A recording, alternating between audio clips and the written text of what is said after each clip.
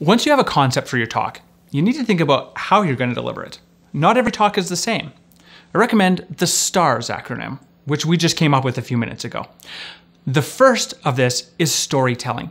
Stories can be incredibly compelling. If you have a great story and you can wrap your technical content or wrap a key concept right into that story, you got a fantastic start for a great presentation. The second, second is a training style talk. Now, in this case, you have to be more considerate of your audience because it's net new information for them. They don't know what you know and you're trying to transfer that knowledge over to them. So the amount of content that you can put in needs to shrink just because their cognitive load is going to be overtaken.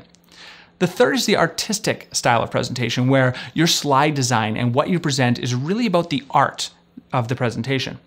The next is the reveal. So this is kind of like the training, but a little bit different because your, your audience is already very knowledgeable about what you're talking about, which means you can introduce that concept a little and then build on top of it. And then the final is the solutions. You might think of this as your top five or top 10 style of blog, where you'll present a problem and a series of solutions that comes afterwards. So now that you've got your concept, what's your stars that you're going to use?